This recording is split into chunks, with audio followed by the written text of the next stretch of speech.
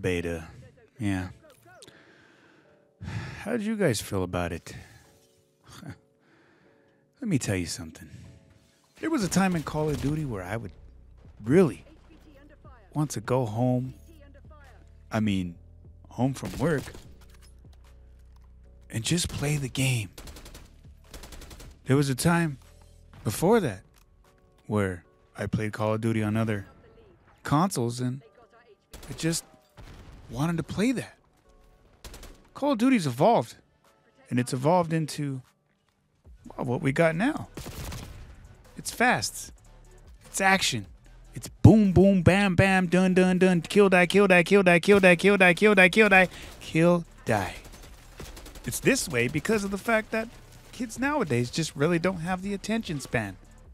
And maybe some of the adults don't either. It's that way to keep constant action going. And it's just downright feels like you ran a mental marathon. So, Call of Duty games ain't what they used to be, and I understand that. Everything evolves and everything gets better, or at least it's supposed to get better through time. It's more or less a thing of trial and error, and most of the time, Call of Duty nowadays seems to be on both sides of the good and the bad.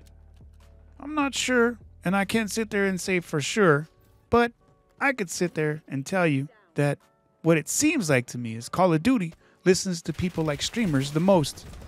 I think it's because their core audience is people that, you know, are really bots and they kind of look up to these guys. And you know why? Because nobody really wants to watch streamers that just don't really, huh, you know, have high kill gameplay. As per what J God said himself right here. No one wants to watch somebody struggle. It's just more entertaining to watch a 40 kill game. I understand. I fall into the category too. I'm just an average player. I love to play with bots though, and I'm gonna tell you why. See, skill based matchmaking in the beta has been cranked up to an all time high. This is probably the highest I've ever seen in a long time, and trust me, I've been playing Call of Duty a long time.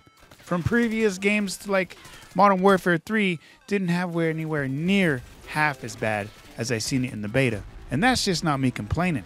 You see, skill based matchmaking takes the fun out of everything and doesn't make anything any better.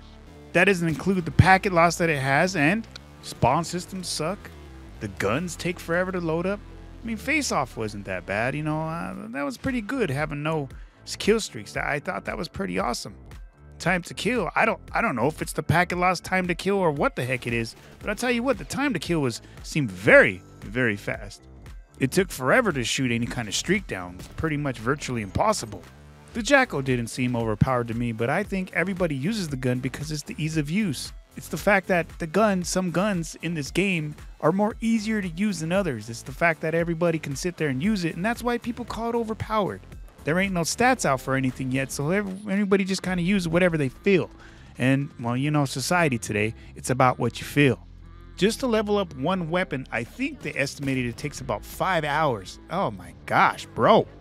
The hostage fugitive thing, you know, where you are take captive and where you just kind of, what do they call it, meat? That was kind of cool, but you know how Call of Duty is. They'll find some way to make it bad or sexualize it, as like they already have. And although it makes for funny comms, well, we already know, well, why does everything got to be in that way? Gay. you know what I mean? When you do grab a score streak, they're just so freaking high. Like, why is everything pretty much double what it used to be?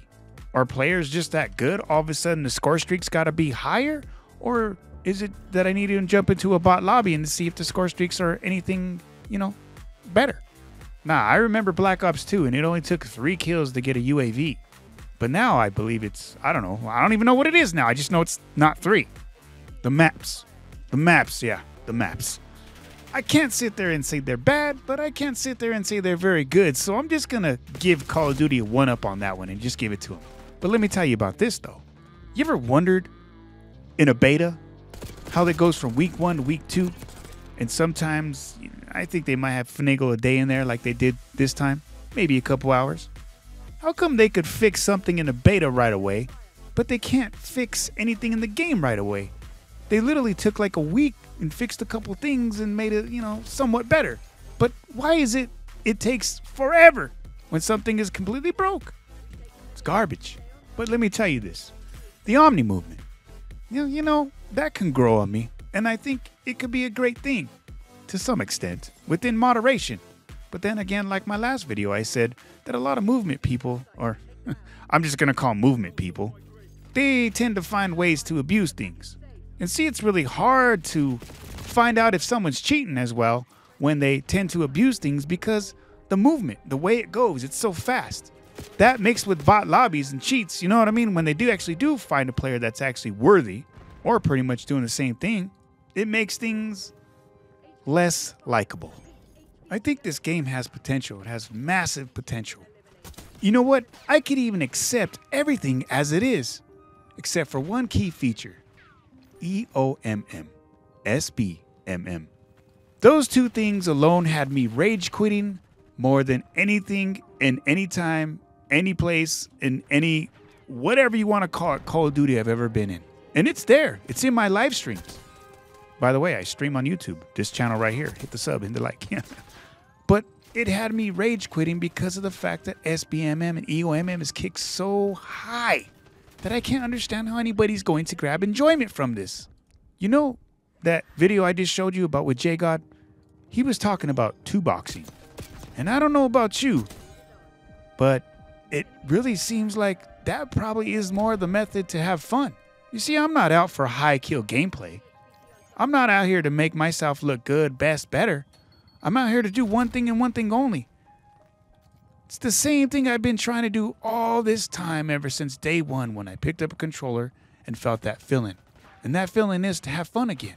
Now, some of you guys will come into the comments and call me a bot, or play around and call me a bot, but I'm talking to those very few. Those few that could relate. The few that actually knew what fun was. You know what I'm talking about. That old fashioned fun that we used to have in Call of Duty. The thing that made you forget the time, the hours, what even sometimes you were supposed to go to school the next day. Now, I don't know all the specifics of how skill based matchmaking exactly works, but I'll tell you what experience is the best thing. I make a ton of videos on how to reverse boost, but ultimately, those things are just always time consuming. If two boxing is the method the easiest to get in and makes your lobbies less sweaty, and the end result is just to have fun, then I could fully understand. And that seems like, well, that seems pretty good to me. Now, I'm not sitting there saying I'm going to go buy two copies of the game. I'm just sitting there saying that, wow, I could understand why people do it. The fun factor, not all that mental aggravation and, and frustration that you have to go through or makes it feel like you just got in some kind of fight with mentally with somebody. Like, I don't know what kind of people in these movies do it, but you know what I mean. These are people that you're mind freaking with. You know what I mean? And that just didn't sound right, but you know what I mean. feel like I'm Xavier and the X Men, and I'm over here trying to to find people, and it's just mentally draining. That's Call of Duty now, and I pretty much don't like it. I'm a hardcore Call of Duty fan, but I think at this point with EOMM, SBMM, packet loss, all this other crap, it makes me feel like what else is there to play? Because I've been out there looking. And I'm pretty sure you have too.